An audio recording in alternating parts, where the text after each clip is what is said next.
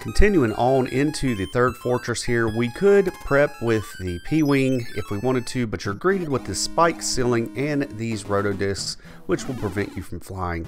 So I'm going to use my suit to get these out of the way, and I'm going to get a running start, and I'm going to fly up and show you a hidden platform up here with a 1-up.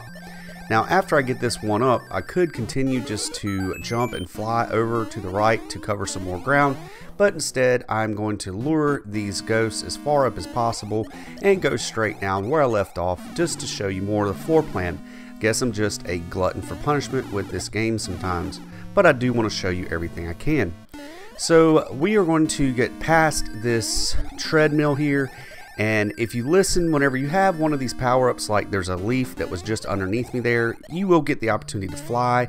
And flying in this level will help you get past some things. Like right here, you get a running flying start, and you can get up over that thwomp and the rotodisc with the treadmill. That is a deadly combination below me there. But once again, I am going to go down and show you how to traverse it here.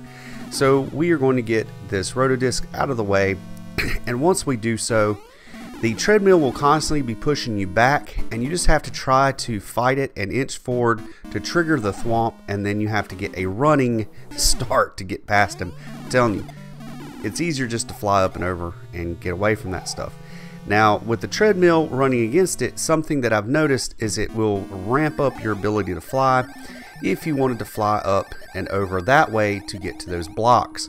Or if you want to try to use it to build up your flying ability to get past this one part that is to our right here with these stretches and the spike strips below you with the roto disc I'm telling you it's really hard.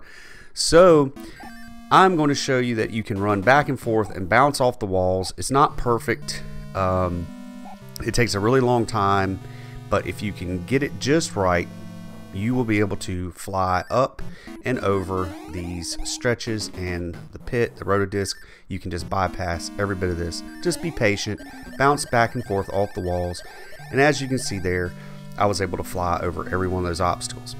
Now, this final trap here is laid with these boos. I'm walking back and forth, back and forth, back and forth, not to present my back to either one of them.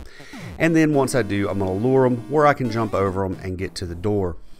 Now, finally, we are in Boom Boom's trailer. I think I've been calling him Bam Bam in some of my other videos, but the wiki said it's Boom Boom, so we're going to go with that. You jump on his head three times and you're done. Now here, I'm just going to wait and watch his timing, and there we go. So, didn't want to lose my Tanuki suit, so I took my time with him, and we got past it. That's been the third fortress and the final obstacle between you and the airship to save the day on World 6. Thank you guys for watching. Please hit that like button and subscribe if you haven't done so.